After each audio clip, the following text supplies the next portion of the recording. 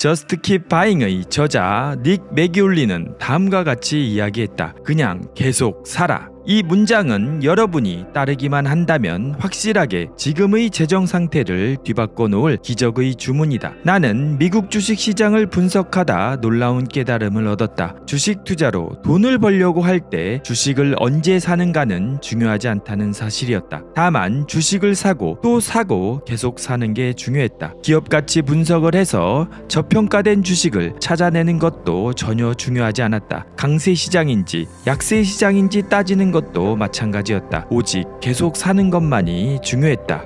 안녕하세요. 세상의 모든 책들입니다. 이번 시간에 리뷰할 책은 닉 매기울리가 지은 Just Keep Buying 그냥 계속 사라입니다. 돈의 심리학과 불변의 법칙의 저자 모건 하우절이 반드시 읽어야 할 책으로 추천하였다고 합니다. 미래에셋 투자와 연금센터 대표이자 저자인 이상건 님도 자신의 생각과 90% 일치해서 놀랐다고 합니다. 즉, 사람마다 자신에게 맞는 투자법이 있고 그것을 고수하는 것이 가장 중요하다는 것. 거창한 방법보다는 단순하게 실행할 수 있는 방법이 가장 좋은 방법이라는 것을 20년 이상 주식시장에서 깨달았다고 합니다. 그리고 특히 후회스러울 정도로 아쉬웠던 것은 주식과 같은 수익형 자산은 사고 파는 것이 아니라 사서 모으는 것임을 너무 늦게 깨달았다는 점이라고 합니다. 이번 시간에는 1. 개별 주식에 투자해선 안 되는 이유 2. 지금 투자할까? 때를 기다릴까? 3. 투자자라면 변동성을 두려워할 필요가 없다. 4. 언제 파는 것이 좋을까? 5. 그냥 계속 살아의 21가지 투자 원칙에 대해서 살펴보겠습니다. 자, 그럼 바로 책 내용을 살펴보겠습니다. 1. 개별 주식에 투자해선 안 되는 이유 유망주를 골라 매수하는 투자자들인 스톡피커의 세계는 정신적 혼란의 세계이다. 좋은 기회를 놓칠까 전전긍긍하고 의기양양해하고 고통스러워하고 후회한다. 하지만 이런 변화무쌍한 감정은 빙산의 일각에 불과하다. 여기서는 개별 주식 투자하는 것을 스톡피킹이라고 합니다. 즉 주식을 고르는 거죠. 재정적 이유로 스톡피킹에 반대하는 주장은 이미 수십 년 전부터 존재하던 전통적 주장이다. 여기에 따르면 대부분의 사람들, 심지어는 전문가들조차 광범위한 기업 인덱스에 투자하는 것보다 더 좋은 성과를 거두기는 힘들다. 따라서 굳이 stock picking을 시도해 볼 필요가 없다. 이 주장을 지지하는 자료는 수없이 많다. S&P 500 지수와 active 펀드 지수를 비교하고 분석해서 보여주는 SPIVA 보고서에 따르면 5년이라는 기간 동안 75%의 active 펀드가 기업 인덱스 투자와 같거나 더 낮은 성과를 거두었다. 기억해야 할 것은 이 75%의 active 펀드를 전문적이고 직업적인 자산 운용 전문가들이 운용했다는 점이다. 이들조차 인덱스 투자를 이기지 못하는데 여러분이라고 가능성이 있겠는가? 게다가 연구에 따르면 장기적으로 훌륭한 수익을 올리고 있는 개별 주식은 극소수에 불과하다. 애리조나 대학의 재무학 교수인 핸드릭 베센바인더는 주식이 국채보다 우수한 성과를 보일까라는 논문에서 이렇게 설명했다. 1926년 이후 상장 기업 중 최고 성과를 거둔 상위 4%의 기업들 덕분에 미국 주식 시장이 순수익을 거둘 수 있었다. 그렇다. 1926년부터 2016년까지 주식이 국채보다 전반적으로 더 많은 수익을 올릴 수 있었던 것은 겨우 4%에 해당한 주식이 올려준 수익 덕분이었다. 사실은 단지 5개 기업이 전체 부의 10%를 창출했다. 그 5개 기업은 엑손모빌, 애플, 마이크로소프트, 제너럴 일렉트릭, IBM이었다. 여러분은 4%의 주식 중 하나를 고르고 96%중 하나를 선택하지 않을 자신이 있는가? 더구나 상위 4%의 산업계 거인들도 언젠가는 힘을 잃어버리는 날이 올 수도 있다. 지오프리 웨스트는 이렇게 추산했다.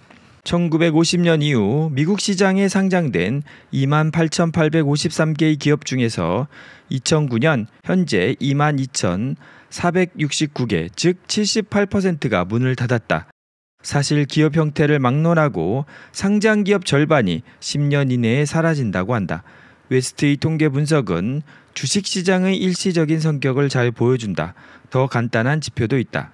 1920년 3월 다우존스 지수에 포함되었던 20개 회사 중 100년이 지난 후에도 여전히 이 지수에 포함된 기업은 단 한 군데도 없다. 영원한 건 절대 없다. 이제 무엇이 문제인지 확실히 알았으리라 생각한다. 넓은 바스켓에 담아놓은 여러 주식, 즉 인덱스의 수익은 아무리 뛰어난 전문가라도 이기기 힘들다. 더구나 여러분이 수익성이 높은 주식을 찾아낼 가능성은 매우 낮다. 심지어 상위 4%의 수익을 올린 주식이라고 해도 영원하리란 보장이 없다. 그래서 인덱스 펀드나 ETF에 투자해서 많은 주식을 소유하는 편이 개별 주식을 고르려 노력하는 것보다 훨씬 낫다. 더 높은 수익을 올릴 수 있는 데다 스트레스는 훨씬 덜할 것이기 때문이다.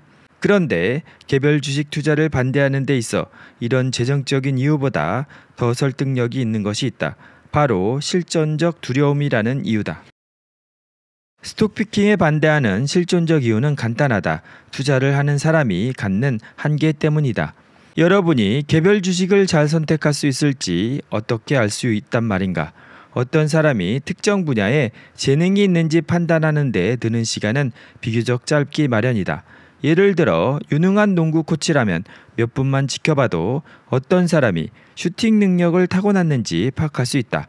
그러나 스톡피킹의 경우는 어떨까?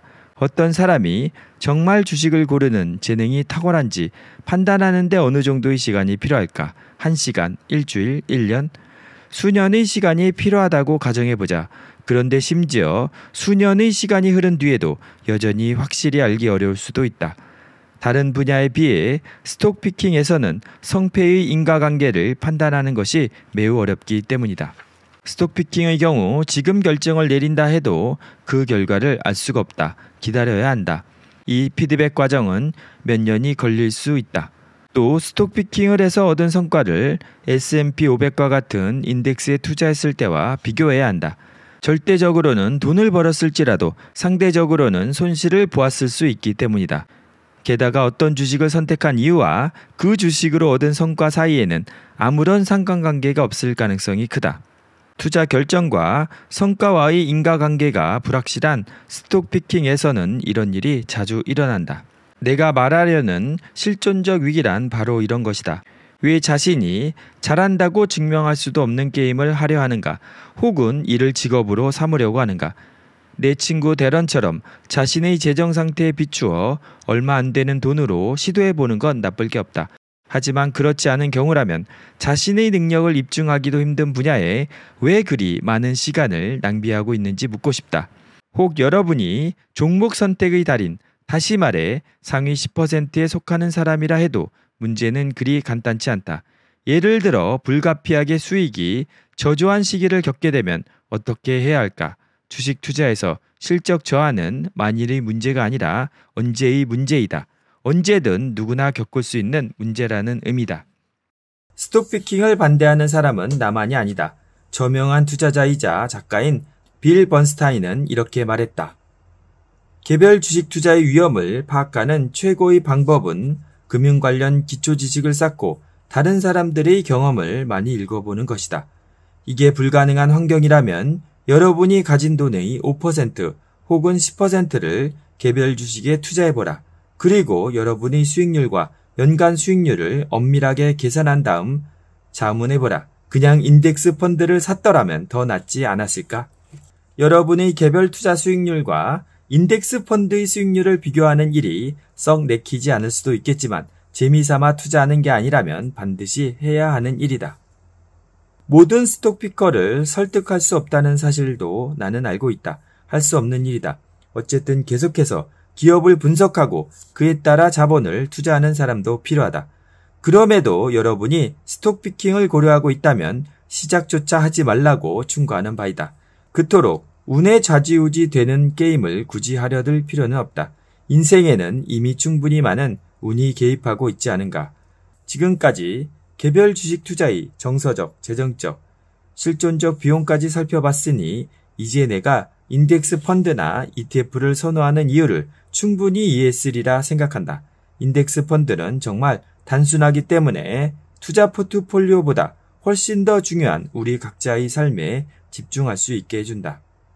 이제 개별 주식 투자를 왜 하지 말아야 하는지 알았으니 다음은 얼마나 빨리 투자를 시작해야 하는가의 문제로 넘어가 보겠다. 정말 여기가 뼈 때리는 내용이죠. 저도 유튜브를 하면서 주식 투자를 다시 시작했었는데요.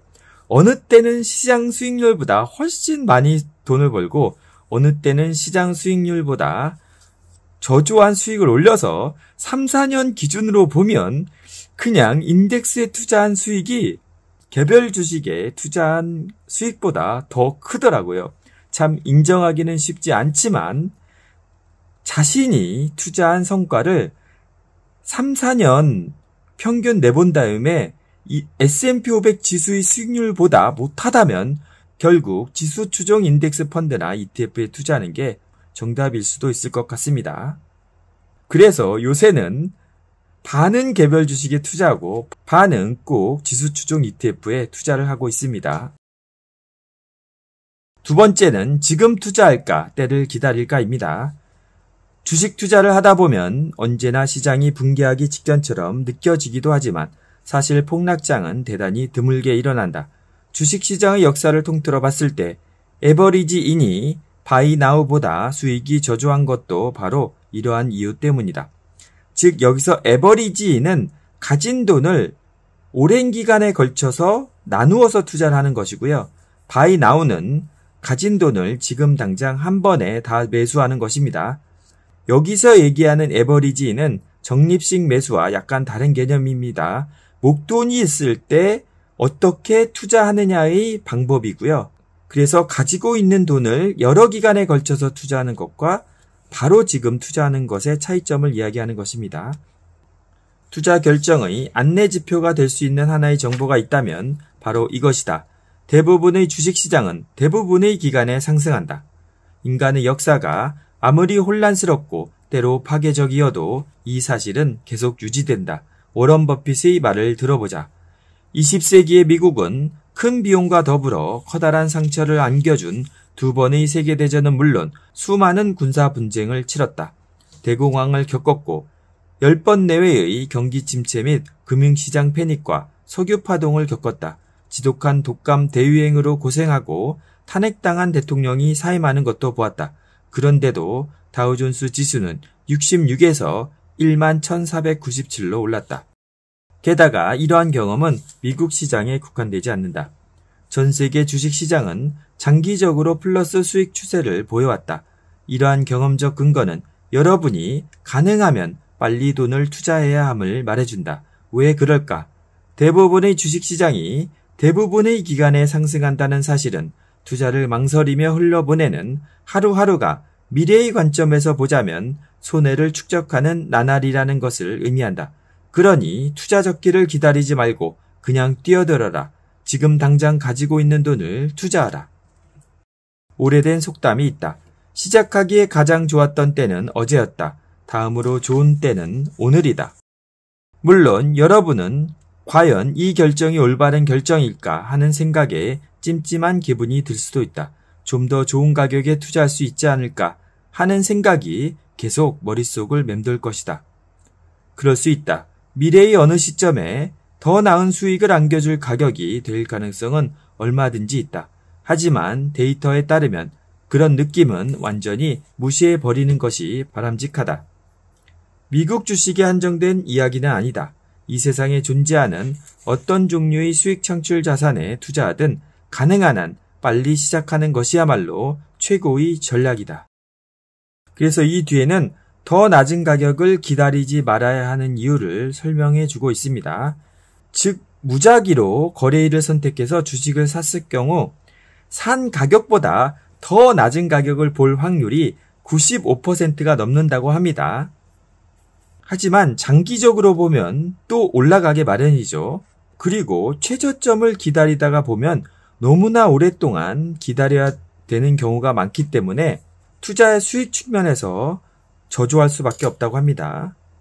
예를 들어서 1997년 4월 15일에 미국 주식을 사고 더 낮은 가격을 기다리겠다고 작정했다면 무려 12년은 기다려야 하는 셈이라고 합니다. 어떤 투자자도 이렇게 긴 시간을 기다리지는 못한다.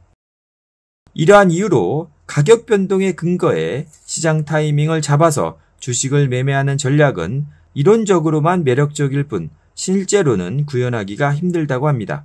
따라서 투자를 해야 할 최적의 시장 타이밍은 가능하면 빨리다. 개인적인 의견이 아니다.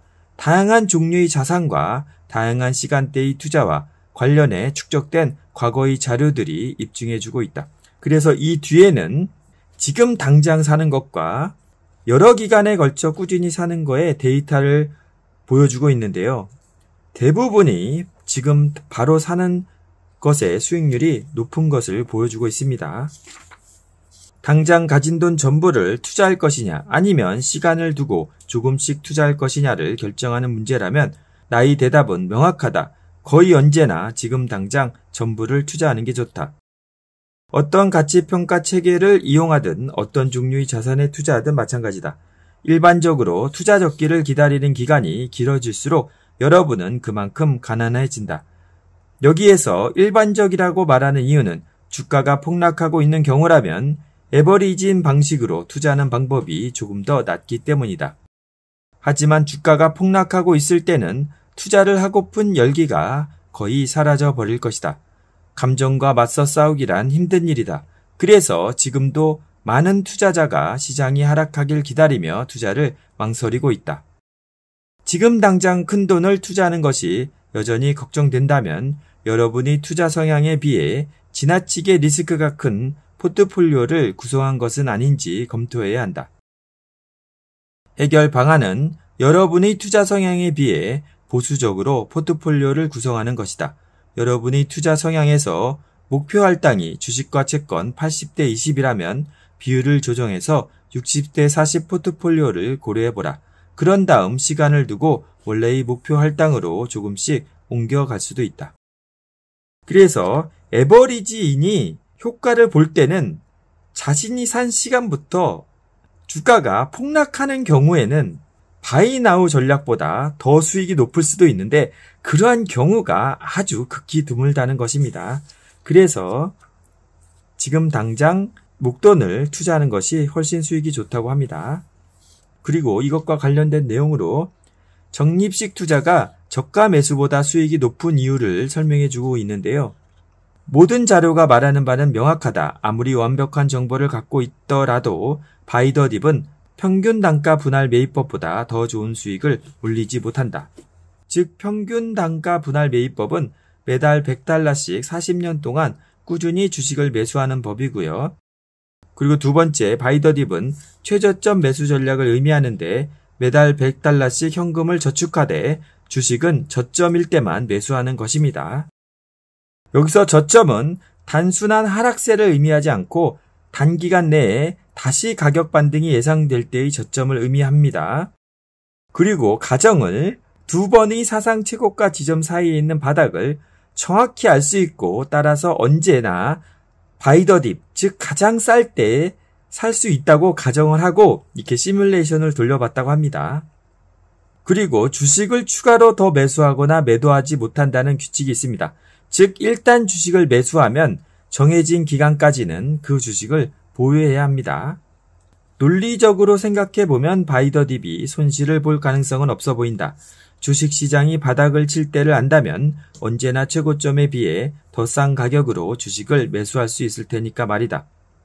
그러나 이 전략을 실전에 적용해 보면 1920년에서 1980년의 어느 시기이든 40년간의 투자 수익을 비교하면 바이더 딥이 평균 단가 분할 매입법보다 70%더 수익이 저조했다.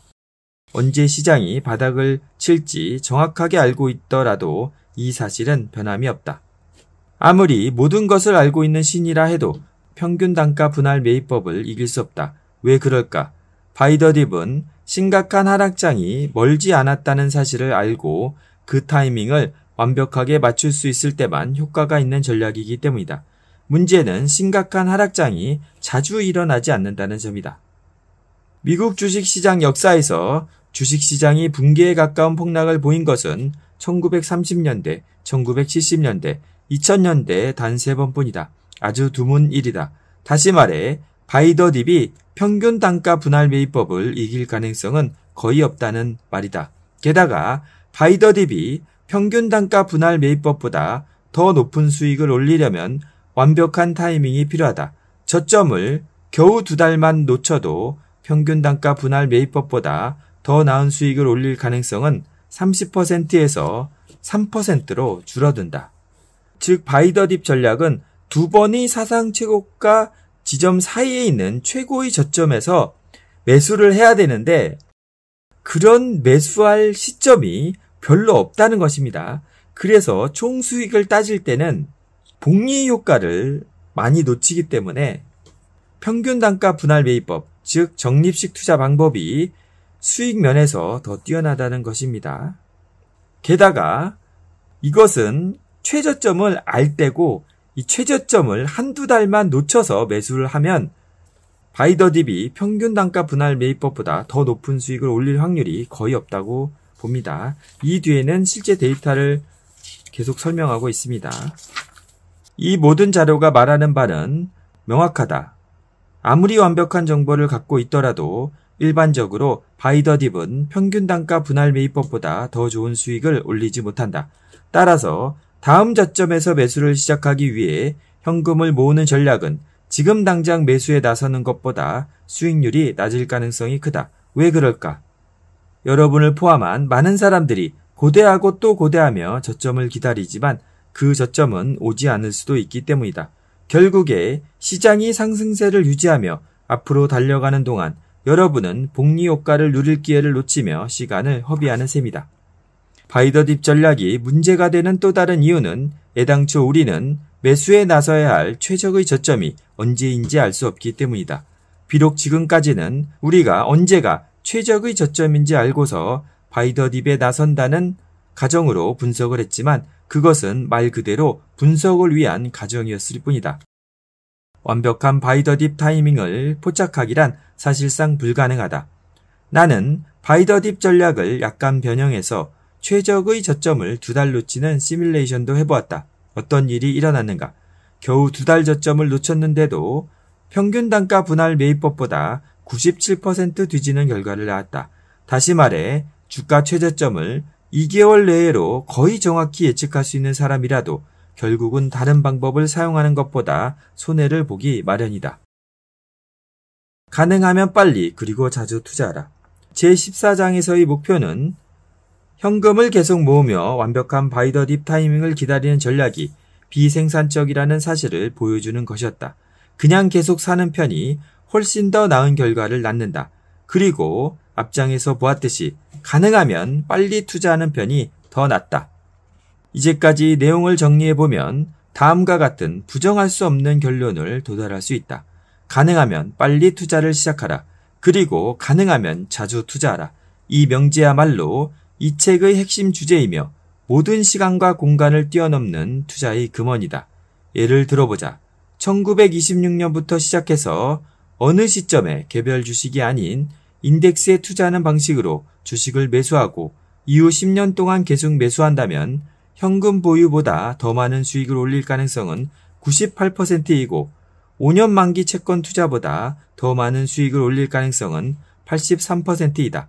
게다가 일반적으로 투자금 10.5% 정도의 배당금도 받았을 것이다.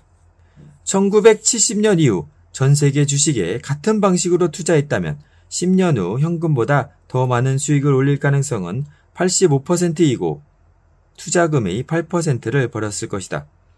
두 경우에서 부를 축적한 방법은 같다. 그냥 계속 샀다. 하느님이 와도 평균 단가 분할 매입법보다 더 높은 수익을 내지 못하는 마당에 여러분이라고 별 수 있겠는가? 자, 그리고 세 번째, 투자자라면 변동성을 두려워할 필요가 없다입니다.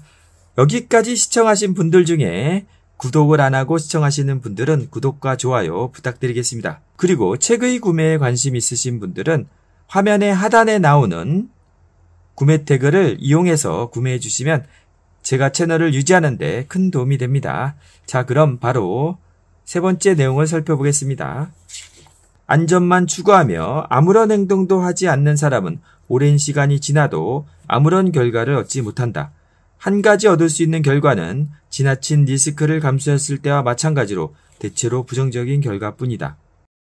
시장 변동성을 굳이 피하려 애쓰는 사람들은 지나친 손실을 피하려다가 결국에 높은 수익을 올리지도 못할 수도 있다.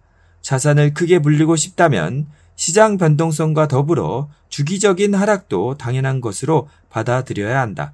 이는 장기 투자에서 성공하고 싶다면 당연히 치러야 하는 대가이다. 문제는 어느 정도까지 받아들일 것인가이다. 그리고 그 대가는 무엇인가 하는 점이다. 그래서 이 뒤에는 실제 데이터를 가지고 분석을 했는데요. 특정 하락폭이 있을 때 주식을 팔고 다시 더 하락했을 때 사는 것을 시뮬레이션을 했습니다. 그래서 결과를 보면요. 이제까지 분석을 통해 투자 수익을 극대화하길 원한다면 어느 정도 수준, 즉 0에서 15%의 하락은 받아들이고 그 이상의 수준, 즉 15% 이상이라면 회피하는 게 더 좋은 결과를 얻었다고 합니다. 이는 주식 투자자들이 내야 할 입장료라고 할 수 있다. 시장은 공짜로 투자자들을 원하는 곳까지 데려다 주지 않는다. 어떤 길에든 굴곡이 있듯이 수익을 올리기 위해서는 힘든 일도 겪어야 하기 마련이다. 언제 굴곡을 만날지 예측하긴 불가능하다. 앞의 표에서 짐작할 수 있듯이 굴곡을 피할 수 있다면 큰 도움이 되겠지만 안타깝게도 그런 미래를 알려주는 요정은 없다. 그렇다면 우리에겐 아무런 대안이 없을까? 요정 대신 어떤 것이 있을까? 우리에게는 분산 투자라는 능력이 있다. 이미 가지고 있는 자산을 분산할 수도 있고 자산에 투자하는 방식도 다양화할 수 있다. 시간을 두고 여러 종류의 수익 창출 자산을 사들이는 것은 시장 변동성이라는 괴물과 싸워 이기는 가장 좋은 방법 가운데 하나이다. 투자자라면 변동성이 게임의 당연한 일부이기에 감당해야 한다는 사실도 받아들여야 한다. 워런 버핏의 오랜 사업 파트너였던 찰스 먼거는 이런 지혜로운 말을 남겼다. 한 세기에 두세 번 정도는 시장이 50% 이상 하락하게 된다.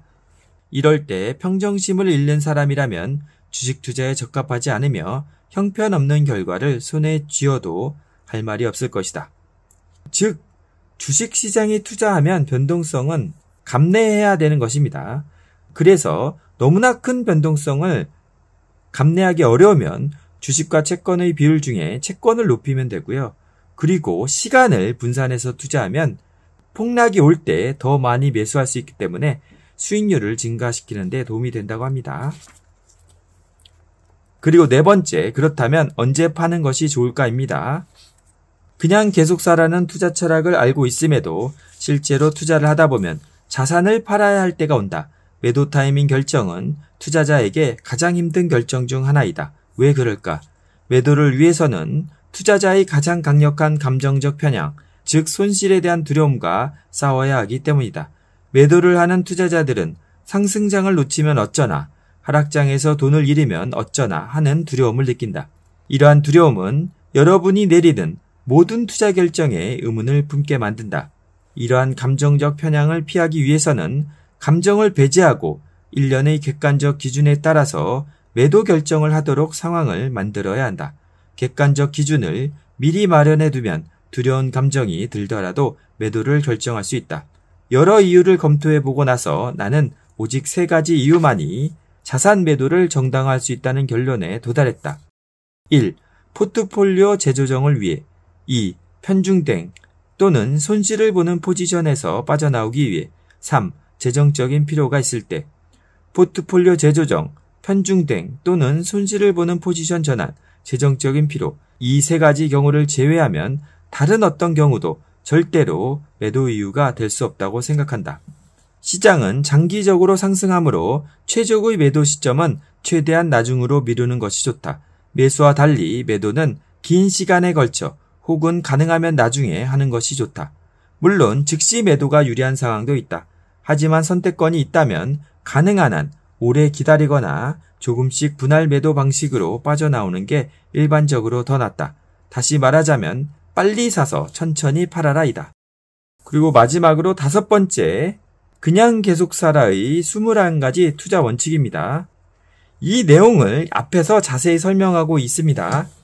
즉, 이 책의 앞부분에는 저축에 관한 것, 뒷부분에는 투자에 관한 내용이 있는데요. 앞의 내용도 볼 내용이 많아가지고 그것을 정리한 이것을 보겠습니다. 이 부분이 이해가 안 되시면은 이 책을 구해서 꼭 한번 읽어보시기를 추천드리겠습니다. 1. 가난한 사람은 저축을 하고 부유한 사람은 투자를 한다. 어디에 시간과 에너지의 초점을 맞출지 결정하기 전에 자산을 축적하고 부자가 되기 위한 여정에서 현재 여러분이 있는 정확한 위치를 알아야 한다. 여러분이 예상 저축이 예상 투자 수익보다 크다면 저축에 집중하고 그렇지 않다면 투자에 집중하라. 양쪽이 비슷하다면 둘 다에 집중하라. 즉 이것은 1년 동안 자기가 투자해서 벌 돈을 예상 투자 수익이라고 하고요. 그 다음에 1년 동안 자신이 총 저축할 금액을 예상 저축이라고 할 때 만약 예상 저축액이 투자 수익보다 크다면은 계속 저축을 하면서 그 저축한 금액을 투자 금액으로 돌리는 것이 중요하다는 이야기입니다. 2. 할 수 있을 만큼만 하는 것이 저축이다. 여러분의 소득과 지출이 고정되는 경우는 거의 없다. 따라서 여러분의 저축률도 고정되기 힘들다. 재테크로 인한 스트레스를 줄이기 위해 그때그때의 상황에서 할 수 있는 만큼만 저축하라. 3. 지출을 줄이는 것이 아닌 소득을 늘리는 것에 집중하라. 지출을 줄이는 데는 한계가 있지만 소득을 늘리는 데는 한계가 없다. 오늘 당장 소득을 늘리기 위한 작은 방법부터 찾아보자. 그것이 내일 소득을 크게 증대시키는 방법이 될 수 있다. 4. 소비 죄책감을 없애려면 두 배의 규칙을 활용하라. 비싼 물건을 사는 등 자신만을 위한 지출에 죄책감이 느껴진다면 같은 금액의 돈을 수익 창출 자산에 투자하라. 걱정 없이 소비하는 가장 쉽고 효율적인 방법이다. 5. 소득 증가분이 있다면 여기서 최소 50%는 저축하라. 소득이 늘어나면 지출도 늘어나게 마련이다. 이때 약간의 lifestyle creep은 괜찮다. 하지만 미래의 현재 삶의 수준을 유지하고 싶다면 소득 증가분의 최소 50%는 저축하라. 6. 부채는 좋고 나쁨의 영역이 아니다. 어떻게 사용하느냐에 달려 있을 뿐이다. 어떤 투자 시나리오인가에 따라 부채는 해로울 수도 있고 이로울 수도 있다. 여러분이 재테크에 도움이 되는 부채는 현명하게 잘 이용하기를 바란다. 7. 때가 되면 집은 사야 한다. 주택 매입은 여러분이 내리는 재정적 결정 중 가장 중요한 결정이다. 그러니 여러분의 재정 상황이나 현재 라이프 스타일로 볼 때 정말 적절하다고 생각할 때만 그 결정을 내려야 한다. 8. 시간 지평이 2년 이내일 때는 현금 저축을, 2년 이상일 때는 주식과 채권 투자를 이용하라. 시간 지평이 길다면 채권과 주식이 더 많은 돈을 벌어줄 것이다. 하지만 2년 이내에 결혼, 내 집 마련 등 큰 돈이 필요한 일이 있다면 현금의 형태로 돈을 모으는 것이 가장 좋은 방법이다. 9. 은퇴에서 가장 중요한 것은 돈이 아니다. 은퇴를 결정하기 전 은퇴 후 생활에 대한 확실한 계획이 있어야 한다. 10. 인적 자본을 금융자산으로 전환하는 투자를 하라. 영원히 일할 수는 없으므로 너무 늦기 전에 인적 자본을 금융자산으로 대체해야 한다. 이런 목적으로는 투자가 가장 좋은 방법이다. 11. 스스로 주인이 되는 오너십 개념의 수익 창출 자산을 준비하라. 소득을 늘리기 위해서는 오너처럼 생각하고 자신의 돈을 수익 창출 자산을 매입하는 데 써야 한다. 12. 개별 종목 주식은 매수하지 말 것. 개별 주식을 사고 좋은 실적을 바라는 것은 마치 동전 던지기 게임을 하는 것과 같다. 성공할 수도 있지만 그저 운 덕분은 아니었다고 확신할 수 있는가? 13. 빨리 사고 천천히 팔아라. 대부분의 시장은 장기적으로는 상승하기 마련이므로 빨리 사서 천천히 파는 것이 부를 극대화하는 최적의 방법이다. 이 방법이 편하게 느껴지지 않는다면 여러분에게 사고 팔기 자체가 지나치게 리스크가 큰 방법이라는 의미다. 14. 가능하면 빨리 투자하라. 그리고 자주 투자하라. 현금을 저축해서 적기에 시장에 들어가겠다고 생각한다면 이제라도 생각을 바꿔라. 아무리 신이라도 평균 단가 분할 매입법보다 더 나은 수익을 올릴 순 없다.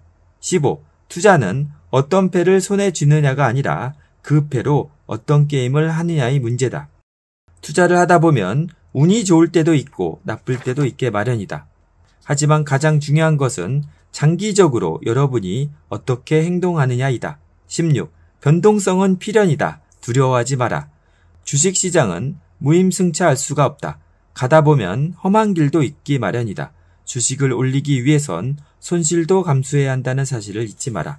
17. 시장 폭락은 매입의 기회다. 심각한 폭락장 이후의 수익이 가장 높은 법이다. 이러한 폭락장이 주기적으로 일어날 때는 두려워하지 말고 이 기회를 적극적으로 활용해라. 18. 자산을 매도해야 되는 경우는 단 세 가지 뿐이다. 지속적으로 그냥 계속 살 것을 주장해 왔다. 하지만 때로는 팔아야 할 때도 있다. 가지고 있는 돈을 필요할 때 쓰지도 못한다면 도대체 투자를 하고 돈을 버는 목적이 무엇이겠는가? 단 자산 매도는 세 가지 경우에만 정당화될 수 있음을 기억하자. 앞에서 얘기한 세 가지입니다. 19. 무엇을 사느냐도 중요하지만 어디에 두느냐도 중요하다. 투자자 중 세금 관리를 제대로 하고 있는 사람이 얼마나 될까? 어떤 투자 상품을 사느냐도 중요하지만 어떤 계좌에 두어 최선의 수익을 내느냐도 중요하다. 우리나라에서는 연금저축 계좌나 IRA 계좌를 말하는 것입니다. 20. 당신은 이미 부자일지도 모른다. 부자는 상대적인 개념이다. 당신이 스스로 부자가 아니라고 생각할지 모르지만 당신은 이미 누군가의 눈에는 부자일지도 모른다. 이 말은 곧 그 반대의 경우도 성립한다는 뜻이다. 결국 절대적인 부자도 빈자도 없다. 투자 게임의 승자가 되더라도 그 과정에서 자기 자신을 잃지 않는 것이 중요할 뿐이다. 21. 시간은 당신의 가장 중요한 자산이다. 돈은 언제나 더 벌 수 있다. 하지만 그 무엇으로도 더 많은 시간은 살 수 없다. 이 21가지 원칙이 너무나 중요해서 급하게 읽어봤습니다. 이 부분만 반복해서 읽으셔서 자신의 것으로 체득을 하면 정말 주식 투자에서 자산을 불리는데 큰 도움이 될 것입니다. 이 21가지 원칙을 좀 더 자세히 알고 싶으신 분들은 이 책을 읽으시면 많은 도움이 될 것입니다. 구매하실 때는 영상의 구매 태그나 설명란의 구매 태그를 이용해 주시면 감사하겠습니다. 자, 이렇게 저스트 킵 바잉의 리뷰를 마치려고 합니다. 다음 시간에도 꼭 좋은 영상으로 다시 찾아뵙겠습니다. 긴 시간 동안 시청해 주셔서 감사합니다.